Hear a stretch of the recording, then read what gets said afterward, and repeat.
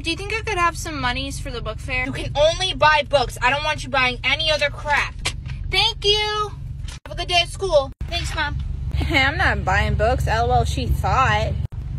Hey, Mom. How was school? Well, where's all your books at? I swear they were out of books. I had no choice. But this is technically a book. Like, I got this cool coloring book and these markers. Honey, it's the book fair. I doubt they were out of books. You wasted your money on that coloring book and markers. But wait, Mom. Wait. You won't be disappointed, okay? I know they were out of books, but I got this cool bouncy ball. It was only $8. Eight dollars for that bouncy ball? You could have bought a bouncy ball for a dollar at Walmart. Dang it, Mom, you're supposed to be excited for me. This stuff is good. I'm so excited for this.